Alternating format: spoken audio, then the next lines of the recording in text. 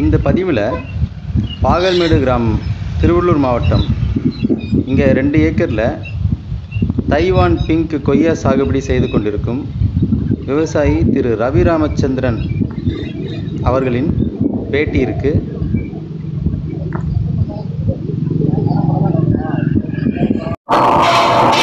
அனைவருக்கும் வணக்கம். உதயம் உழவு குழு சார்பாக உதயகுமார் பேசுகிறேன் இன்னைக்கு மே பதினேழு ரெண்டாயிரத்தி இருபது. நம்மளோட விவசாயி திரு ரவிராமச்சந்திரன் ஐயா இருக்காரு.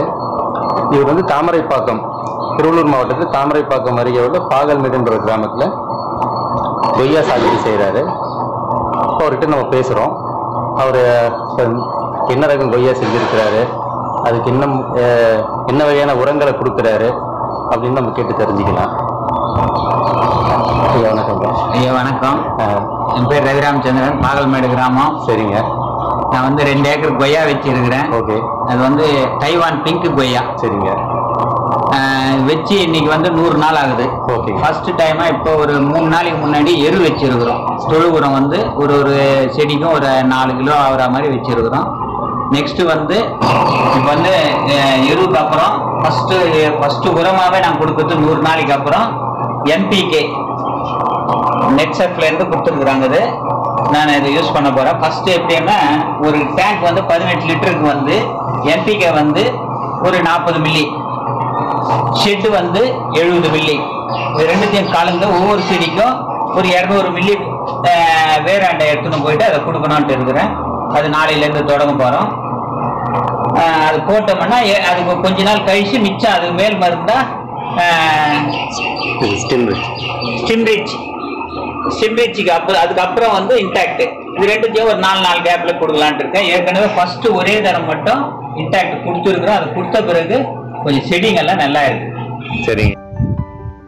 இப்போ புதுசாக நம்ம உதயம் உழவர் குழு சேனலில் பார்க்குற நேயர்களுக்கு ஷெட்டு என்பிகே ஸ்டிம்ரிச் இன்ன இன்டாக்ட் அப்படின்னா என்னன்னு தெரியாது. அதாவது ஷெட் அப்படின்றது பார்த்தீங்கன்னா அது வந்து நுண்ணுயிர்களோட கலவை. அதை நம்ம மண்ணு கொடுக்கும்பொழுது மண்ணில் இருக்க சத்துக்களை இந்த நுண்ணுயிர்கள் எடுத்து செடி கொடுக்கும். அது மாதிரி மண்ணில் வந்து நுண்ணுயிர் பெருக்கம் ஏற்படும். நுண்ணுயிர் பெருக்கம் ஏற்படும் பொழுது மண்ணில் இருக்கக்கூடிய கரிம சத்துக்கள் ஆர்கானிக் மேட்டர்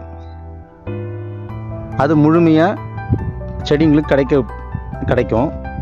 அதுக்கப்புறமா அந்த என்பிகே அப்படின்னு சொல்கிறது தழை மணி சாம்பில் நிலைநிறுத்தும் பாக்டீரியா தழை சத்துக்கு அஸ்டோபாக்டர்ன்ற நுண்ணுயிர்களை கொடுக்குறோம்.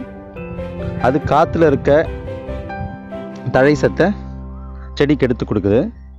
அதுபோல் மணி சத்துக்கு phosphorus சாலிபிளைசிங் bacteria.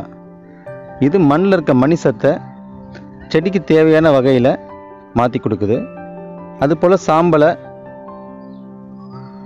Potassium mobilising bacteria இந்த நுண்ணுயிர் மண்ணில் இருக்க சாம்பல் சத்தை செடிக்கு தேவையான வகையில் கரைச்சி கொடுக்குது.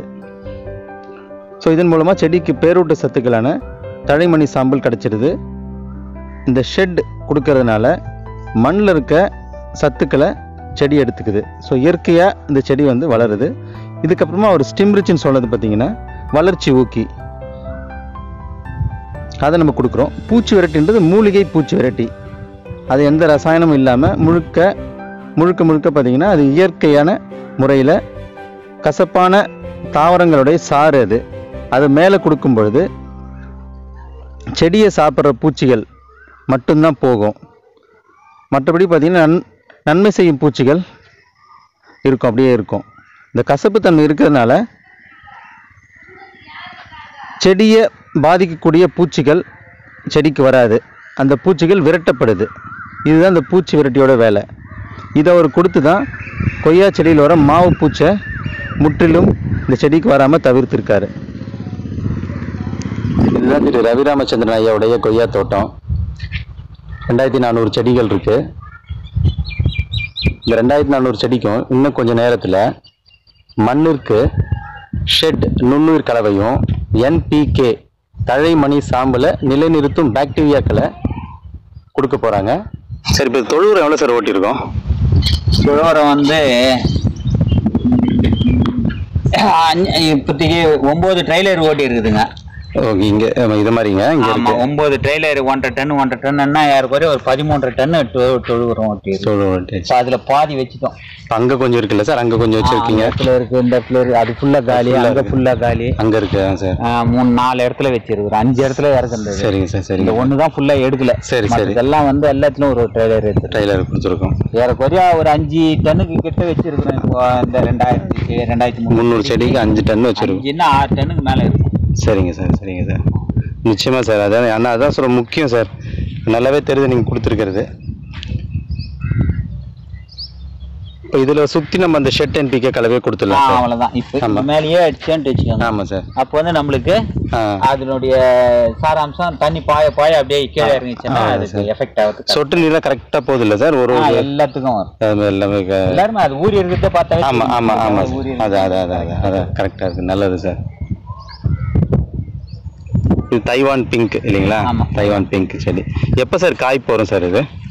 இது அவங்க சொல்லி இருக்கிறது ஏறக்குறைய ஒரு வருஷத்துக்கு எல்லாம் ஒரு பலன் ஒரு அறுவடை எடுக்கலாம் சரிங்க சார். நாம வச்சிருக்கிறது வந்து இது வந்து ஜனவரி இருபத்தி ஒன்பது சரிங்க சார். இது நம்ம ஃபர்ஸ்ட் ஷோயிங் பண்ணியிருக்கிறது. ஆமா சார். ஜனவரி இருபத்தி ஒன்பது அப்போ நெக்ஸ்ட் பொங்கலுக்கு நம்ம காய்களை எதிர்பார்க்கலாம். எதிர்பார்க்கலாம். அதுக்கு தகுந்த மாதிரி நம்ம செடிங்களை கொண்டு வரணும் சார். பண்ணி பிக்கப் பண்ணி கொண்டு வரணும். அந்த பூச்சி விரட்டி கொடுத்ததுக்கு அப்புறம் எப்படி சார் இருந்தது? பூச்சி வெரைட்டி அது அந்த இடத்துல இருக்கு செடிங்க. அப்படிங்களா? இருந்தாலும் வந்து சரிங்க சார். அந்த பூச்சிங்க வெள்ளை பூச்சி மாவு பூச்சி இருந்ததெல்லாம் அழிஞ்சு போச்சு. செடி துளிர் புதுசா வர்றதெல்லாம் நல்லா இருக்கு. நல்லா இருக்கு. நல்லா இருக்கு சார். நல்லா இன்டாக்ட் நல்லா இருக்கு. நல்ல வேலை செய்யுது சார். சரிங்க இது வரைக்கும் இது வச்சு அந்த இன்டாக்ட் ஒண்ணு இப்போ நெக்ஸ்ட் எரு இது வரைக்கும் வேற எதுவுமே கெமிக்கல்ன்றது யூஸ் பண்ணக்கூடாது. பண்ணக்கூடாதுனால இது கொஞ்சம் ஆர்கானிக்கா எடுத்து போனான்றதுனால இது கொலை பண்ணி சரிங்க சார். மே பதினேழு ரெண்டாயிரத்தி இருபது.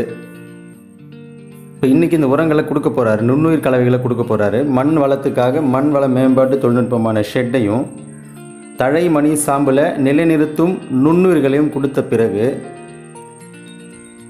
இந்த மண்ணில் மாற்றம் ஏற்பட்டு இந்த செடிகள் எப்படி வளர்ந்துருக்குன்றதை நம்ம அடுத்த பதிவில் இன்னும் இரண்டு வாரங்கள் கழித்து பார்க்கலாம். நன்றி.